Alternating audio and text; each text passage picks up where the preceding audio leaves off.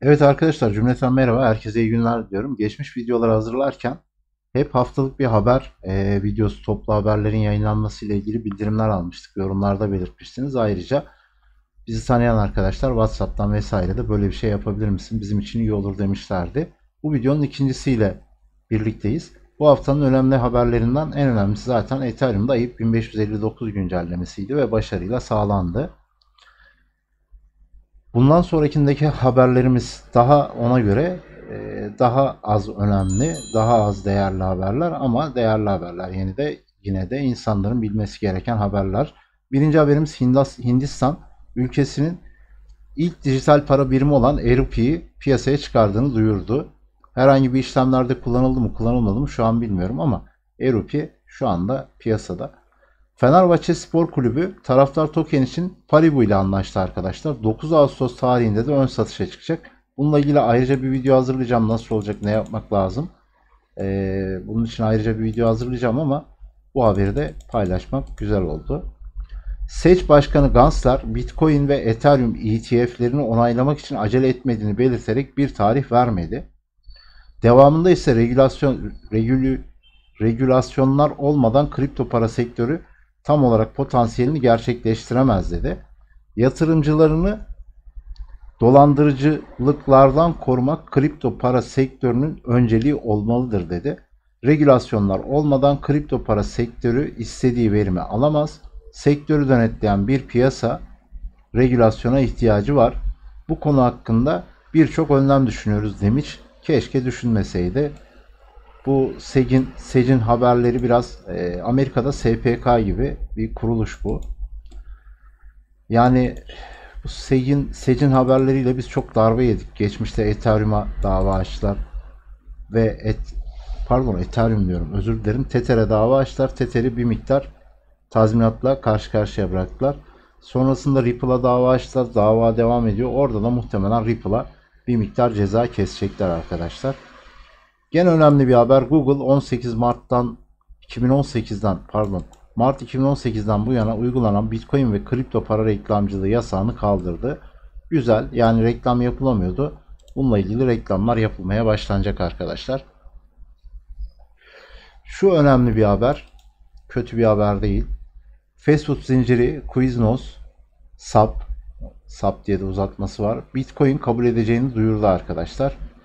Bunların zannedersem dünya genelinde 5100 tane e, bayileri var. 5100 tane zincir fast foodları var. Buranın Bitcoin ödemelerini kabul etmesi kötü bir şey değil. Tanınırlığı artırmak anlamına geliyor. Sonuçta o restorana giden birisi gidip orada Bitcoin ile ödeme yapılabileceğini herhangi bir restoranın bir yerinde dahi görse Bitcoin'e olan e, güveni biraz daha düzelecektir. Ne diyorduk? Dünyada kripto paraları yatırım yapan insan sayısı henüz %2 idi arkadaşlar. Duyan, ilgilenen insan sayısı %2 idi. Bu oranın bir de %5 olduğunu düşünün. Yani %4 olduğunu düşünün. Direktmen. %6, %10 olduğunu düşünün. Şu anda Amerikan dolarını herkes biliyor mu? Biliyor. Altını herkes biliyor. Petrolü herkes biliyor. Yatırım yapmak isteyen yapıyor. Ama kripto paraları daha hala %2'si ilgileniyor. CZ'nin bu konuda bir açıklaması vardı. Binance CEO'su CZ'nin. Ne demişti? Biz %2 olarak bir geminin içerisindeyiz. Kalan %98 de bu geminin içerisine almamız lazım demişti. Güzel bir benzetme. Hakikaten böyle bir şey olursa kripto paralardaki fiyat durumunu siz düşünün. Çünkü e, kripto paralar sınırlı varlıklar. Geneli sınırlı diyeyim daha doğrusu. Coinbase şirketin sahte ve yanıltıcı materyaller sunduğu ve menkul kıymetler sahtekarlığı yaptığını iddia eden bazı Amerika'daki en büyük hukuk firmalarından çok sayıda doğu toplu dava ile karşı karşıya. Coinbase'in malumunuz parası çok yani borsanın parası çok. E buradaki sahtekarlar da demek ki oraya biraz hani böyle bir dava açarsak belki 3-5 yollarını bulma derdindeler. Hani yol bulma deriz ya şöyle sakalı böyle bir şey derdindeler gibi gözüküyor. Devam edelim. Rothschild ailesinden bir haber var. Dünyanın en zengin ailelerinden birini olan Rothschild Investment Trust, kripto para hizmetleri veren Aspen Digital'e 8.8 milyon dolarlık bir fon sağladı. Rothschild ailesi dünyanın bir veya yani bir, bir numaralı ailelerinden birisi zenginler açısından. Bunların bir devleti milleti yok. Bunlar kendilerini küresel güçler olarak değerlendiriyor ve tek dünya devletine doğru giden yolda tek parayı da kullanmak istiyorlar. Bunu biliyorsunuz arkadaşlar.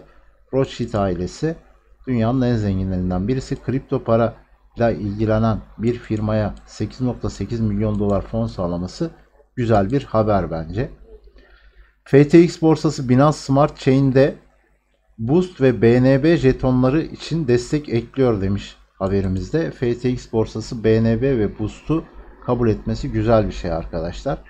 Bu da güzel bir haber. Xiaomi biliyorsunuz Xiaomi Elektronik. Xiaomi Portekiz'de Bitcoin, Ethereum, Tether ve Dash kabul etmeye başladı ödemelerde. Bu güzel bir haber arkadaşlar. Xiaomi Portekiz'de bunu demek ki deniyor. Pivot bölge olarak seçmiş.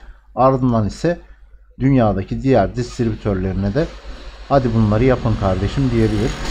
Bu da güzel bir şey olur bizim için. Ee, haber olur. Coinbase Türkiye'de kredi ve banka kartı ile kripto para alımını başlattı. Eskiden Binance bunu global borsalar içerisinde Binance sağlıyordu. Artık Coinbase'de büyük bir firma bunu sağlamaya başladı arkadaşlar. Bu da güzel bir haber.